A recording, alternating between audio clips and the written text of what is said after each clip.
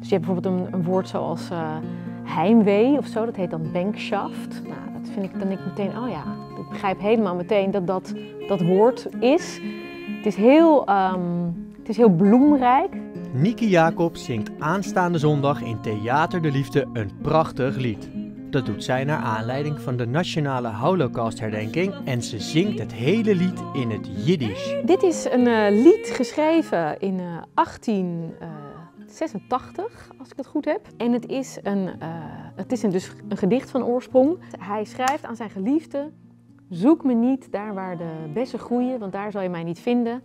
Daar waar wij aan kettingen geklonken zijn, daar is mijn rustplaats. En hij eindigt het gedicht met: En als je mij echt lief hebt, kom dan naar mij toe en maak mijn rustplaats zacht. En waarom ben je zo bezig met dit thema? Ik heb een Joodse achtergrond. En eigenlijk is dat een soort van vanzelf gegaan. En inmiddels is het gewoon omdat ik het, het de allermooiste taal vind die er is. Wat maakt de taal zo mooi? Hij is super poëtisch, hij is heel zacht.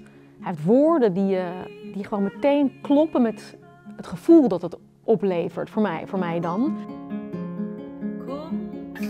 En hoe is, hoe is, hoe is het voor jou om, uh, om dit nummer op zo'n dag uh, te zingen? Dit is en heel mooi, het is ook ingewikkeld, dat blijft het altijd. Omdat het, als je het relateert aan de gebeurtenissen van de Tweede Wereldoorlog, daar kan je eigenlijk gewoon met je, met je hoofd en met je geest en met je hart en met je ziel, kan je daar niet bij. En ik denk dat muziek in ieder geval en woorden bij kunnen dragen aan daar een soort solide fundament in te geven, waardoor, waardoor de dingen weer draaglijk worden.